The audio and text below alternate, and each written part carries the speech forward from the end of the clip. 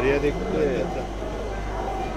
அமைச்சர் சுரேஷ் பிரபு அவர்கள் நமது கோரிக்கையை ஏற்றுக்கொண்டு இன்றைய தினம் திருச்சியிலிருந்து புறப்படுகின்ற இன்டர்சிட்டி எக்ஸ்பிரஸை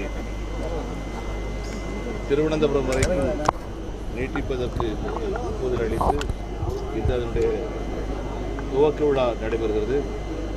மாண்புமிகு தமிழக அமைச்சர் பெருமக்கள் பாராளுமன்ற